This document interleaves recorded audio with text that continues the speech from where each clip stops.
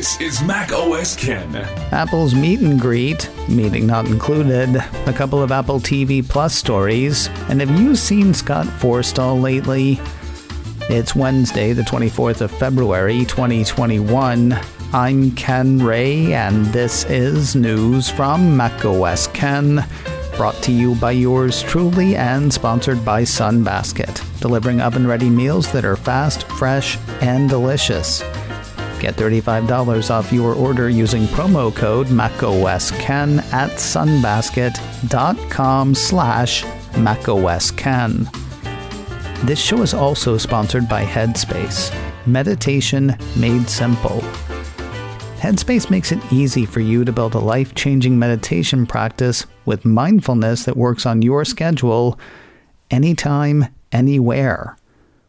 It's the app and the variety of programs available. They've got mindfulness workouts like actual physical workouts, a meditation for when you're out walking, SOS sessions for high stress moments, even guided meditations to help you sleep. I'm a fan of the walking one. I appreciate the SOS sessions. And the basic program has actually gotten me to a place where I can take a moment, calm myself, and focus, even without the app. Headspace is backed by 25 published studies on its benefits, 600,000 five star reviews, and over 60 million downloads. You deserve to feel happier, and Headspace is meditation made simple. Go to headspace.com slash macOSKen. That's headspace.com slash macOSKen for a free one month trial with access to Headspace's full library of meditations for every situation. This is the best deal offered right now. Head to headspace.com slash macOSKen today. Apple held its annual shareholders meeting on Tuesday, virtual of course. Hashtag these times in which we live. Apple Insider had the company CEO saying he is greatly optimistic about Apple's future. I know, it was quite a surprise. Business done during the meeting, including approving Apple's board of directors. Please welcome back to the table James Bell, Tim Cook, Al Gore, Andrea Jung, Art Levinson, Ron Sugar, and Sue Wagner. There were also four proposals to be decided, two supported by Apple and two opposed. Not surprisingly, they went the way the company wanted. According to the report, the passing proposals were the reappointment of Apple's public accounting firm for auditing purposes and the approval of Apple's executive compensation. The two failed proposals, both submitted by shareholders, focused on amending proxy access for director nominations and improvements to Apple's executive compensation program. Tightly controlled is how some in the chat room of yesterday's macOS Ken Live referred to the Q&A portion of the call. I did not get to hear that, but I did read a transcript posted by Philip Elmer DeWitt's Apple 3.0. Basically the way it reads, shareholders tossed Tim Cook softballs, and he knocked them out of the park. Questions like why is Apple speaking up now on privacy? What are Apple's thoughts on mergers and acquisitions? How does Apple plan to improve on its diversity and inclusion? And what is Apple's identity today? If it sounds like I'm being flip about the call, yeah, I get that a lot. I will say some of Cook's answers did ring with inspiration. Let me give you part of one of them. Asked what he sees as Apple's most challenging obstacle ahead for 2021, Cook started by saying he doesn't see obstacles so much as opportunities. That said, he said those opportunities will have to be handled with care. Recounting some of the obstacles or opportunities faced last year, Cook wrapped his answer by saying, After the year we have all gone through, I am greatly optimistic about the future, and for all of us at Apple, we're thinking deeply, as always, about how we can help our communities emerge from this stronger, how recovery from this pandemic can be fair and equitable, and how all of that can be helped by world class technology that puts our humanity at its heart. Because he can knock them out of the park. If you'd like more on the question and answer portion, you can read the transcript at Apple 3.0. You can also have a listen to Tuesday's Mac OS Ken Live because that's what I tackled on Tuesday's Mac OS Ken Live. In Apple's shareholder meeting, CEO Cook sort of dismissed concerns about government interference in Apple's business. Outside of the meeting, there was news that the government may be looking to interfere in Apple's business. Well, investigated anyway. Another piece from Apple Insider highlights a report from The Information that says the U.S. Department of Justice is eyeing sign in with Apple in response to developer complaints. That's part of a broader antitrust investigation, according to the report. The Cupertino company bills sign in with Apple as a more private way to sign in to third party apps and websites using an existing Apple ID. Soon after introducing the option, the piece says Apple also started requiring apps that have account sign in options from Google, Facebook, and Twitter to include sign in with Apple as well. This has apparently upset some developers. They have apparently complained. Now the DOJ is apparently looking into it, along with a slew of other issues. According to the piece, the DOJ is examining Apple's control over its app marketplace, the commission it charges on app and in app purchases, and whether it restricts third party app access to systems like location services that its own apps are able to use. Aside from pointing out the privacy benefits of sign in with Apple, the company declined to comment for the information report. Apple Pay has hit another country. Cult of Mac says the contactless payment solution has landed in Mexico. Apple site says the feature works with Citi Banamex, Banorte, American Express, and MasterCard in Mexico. A number of chain stores and restaurants also offer support, including 7 Eleven, P.F. Chang's, and Chili's. Apple's got new guidance for developers on the app privacy nutrition labels. MacRumors says rules surrounding data types like email, text messages, and gameplay content have been expanded to make it easier for developers to understand and comply with the requirements. Makes one wonder whether they were. The piece has Apple telling developers additional details have been published on completing your App Store privacy labels including more information about data types such as email or text messages and gameplay content. You'll also find more information about data collected in web views and data that may be entered by users within documents or other file types. And again, one wonders whether this was a ramp up that had been planned all along. It's also possible that, allowed to self report, developers aren't reporting as much as Apple would like them to. MacRumors points readers back to last month's piece from the Washington Post that had the paper finding apps skimming much more information than their App Store privacy labels indicated. Add another interesting machine to Apple's refurbished offerings. Just one day after tossing the 13 inch M1 MacBook Pro into the like new store, iDownloadBlog says the M1 MacBook Air has also landed there. The company's knocking the roughly regular 15% off the asking price. Normally a thousand bucks to start, the entry-level refurbished MacBook Air is currently going for $849. The higher spec machines are going for higher prices, though still at decent discounts. You can see what's available in Apple's refurbished store.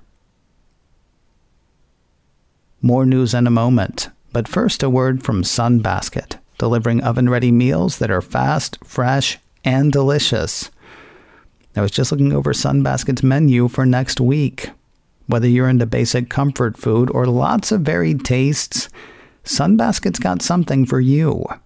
From meal kits like Mushu pork bowls with hoisin sauce to fresh and ready meals like pappardelle pasta with wilted spinach, sweet peas, and fresh ricotta, or shrimp Diablo tacos with roasted peppers and queso fresco.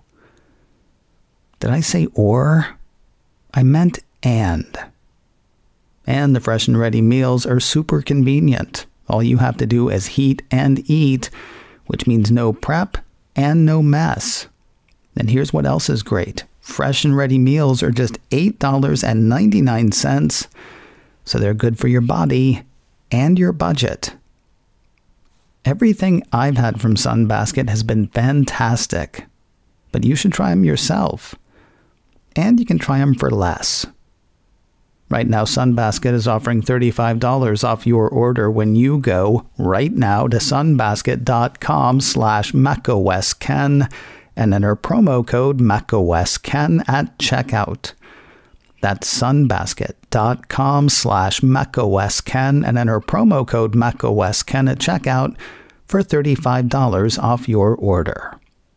sunbasket.com slash macosken and enter promo code macosken. We now know what happened to some of the money pledged by Apple for the fight against COVID 19. CNET says $10 million went toward 15 million sample collection kits made by COPAN Diagnostics. According to the piece, the testing kits are being used by hospitals to collect specimens of the disease to aid research in the search for better testing and treatment options. It wasn't just money Apple kicked in, but also know how. To ramp up production and shipping, CNET says, COPAN hired nearly 250 new employees and opened an entire new facility in California. The team worked alongside Apple engineers, product designers, and operations professionals to set up a dedicated supply chain that resulted in a 4,000% increase in its test kit production since April of last year. Speaking on Apple's behalf, COO Jeff Williams was quoted as saying, We are proud our advanced manufacturing fund is supporting companies like COPAN, who are playing a critical role in the fight against COVID 19 and assisting healthcare professionals and communities across the country. Tweetin' Tim's tweeting again. Apple Insider says Apple CEO has hit the Twitter service, voicing support for the Equality Act. If you don't know what that is, the piece explains, saying the Equality Act, introduced to amend existing civil rights laws, bans LGBTQ discrimination across multiple areas of American life. Currently, there are protections for discrimination against gender identity and sexual orientation in some, but not all states. This bill would extend protections from the Civil Rights and Fair Housing Acts to LGBTQ people across all states in the U.S. Second time around for this legislation. It was first introduced in 2015 when it got Apple's support. As for support this time, Cook's Twitter message said, the Equality Act reflects in law the fact that every person deserves dignity and respect, regardless of sexual orientation or gender identity, at work, at home, and in the public square. We strongly support its passage, and we encourage Congress to come together and get it done. International Women's Day is week after next, and your Apple Watch has a challenge for you or it will on International Women's Day. iMore says users need only complete a 20 minute workout to get the usual virtual doodads. Those include a special medallion and a few virtual stickers depicting a female gender symbol, two women standing while waving, a woman in a wheelchair waving, and an animated 2021 sticker with purple and red colors. International Women's Day is Monday, the 8th of March plan accordingly. The press gets to go to Apple Yeouido today, and you get to go on Friday. You know, if you're in Seoul, South Korea, since that's where the store is. I told you earlier this week of the planned press tour. At the time, Apple had not said when the store would open to the public. Now it has. 9 to 5 Mac had the company saying yesterday that the store will open this Friday, the 26th of February, at 10 a.m. local time. Signs of Life for Jon Stewart's show for Apple TV Plus. If you've forgotten what that is, The Hollywood Reporter says the still untitled show, which will feature single topic episodes, will explore subjects that are part of the national conversation and Stewart's own advocacy work. Sounds like they're going for a mix of serious and funny, based on a couple of announced hires. CBS Evening News investigative journalist Brinda Adhikari has been hired as executive producer and showrunner. She brings the serious, while head writer Chelsea Devantez should bring the funny. Funny story, she started her writing career on the show that Stewart was supposed to do, but never did for HBO. Other credits include the Comedy Central series The Opposition with Jordan Klepper and Tina Fey's upcoming series for Peacock, Girls Five Eva. No hints in the piece on when the show will premiere. I'm just happy to hear it's still in the works. PaleyFest LA has set its schedule for the spring, and Ted Lasso is on it. PaleyFest is a really cool thing that most people can't go to because it's in one place, and most people are not. Of course, it'll be virtual this year. Hashtag these times in which we live. The event features casts and creators of various shows viewing clips and participating in moderated discussions.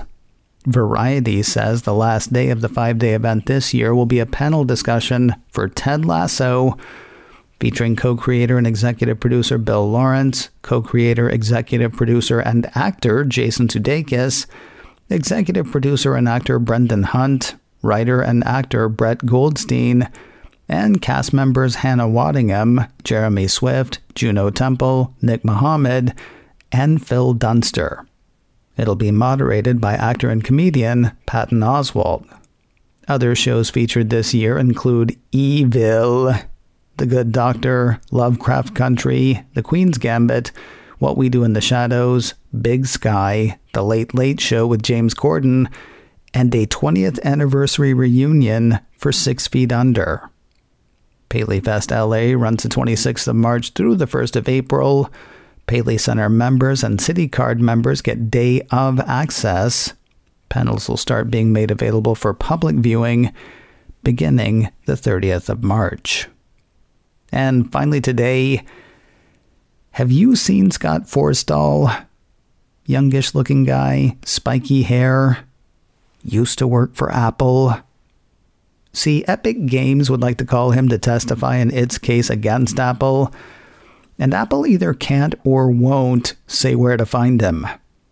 Foss Patents says Epic says Apple had said that it would get the former iOS software exec to turn up and answer questions but according to Epic, according to the site, Apple now suggests that it never suggested it could compel Mr. Forstall to appear for a deposition after promising for well over a month it would provide a date for Mr. Forstall's deposition. At some point, a deposition had been tentatively scheduled for the 11th of February, but the week before, Apple revealed that Mr. Forstall had not responded to Apple's inquiries or confirmed that he will appear for a deposition. Epic says Apple gave the games maker a P.O. box and a Twitter handle for Forstall. Apple also represented that it was not authorized to share Mr. Forstall's phone number, according to Epic, but later stated that it did not believe that it was in possession of Mr. Forstall's current phone number. In fairness, they didn't part on great terms. Now, Forstall's in the wind as far as Epic is concerned. Apple probably figures he's fine where he is. So I think we're going to call in a few minutes for this week. It'll kick back up again on Monday. In the meantime, macOS Ken Live goes live again today, 3:30 Pacific, 6:30 Eastern on my YouTube channel, youtube.com slash kenray. Catch it live or on replay there. You can also subscribe to the audio podcast macOS Ken Live, wherever you get podcasts. macOS Ken, brought to you by me and sponsored by Headspace. Meditation made simple. Get a free one-month trial at headspace.com slash macOSKen. This show is also sponsored by Sunbasket. Get $35 off your order using promo code macOSKen at sunbasket.com slash macOSKen. Advertising handled by Backbeat Media, online at backbeatmedia.com. You can reach me a couple of ways info at macosken.com or call 716 780 4080. Until next time, that is news from macOS Ken. I'm Ken Ray.